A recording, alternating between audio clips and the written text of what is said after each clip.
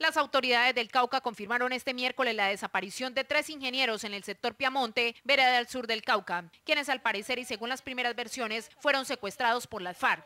Los tres profesionales que pertenecen a una multinacional se movilizaban en zona rural de la vereda Piamonte, corregimiento del Miraflor, cuando varios hombres armados salieron al paso y se los llevaron, señalan algunos testimonios. El comandante de las fuerzas militares, general Alejandro Navas, señaló que se está buscando en zonas muy cercanas el hecho y se reafirma que se trata de un secuestro.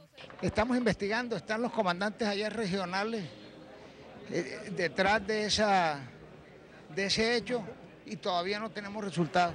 El secuestro de estos tres ingenieros se suma a los de los seis contratistas en Bolívar por el ELN y el de los tres patrulleros en zona rural de Florida Valle por las FARC.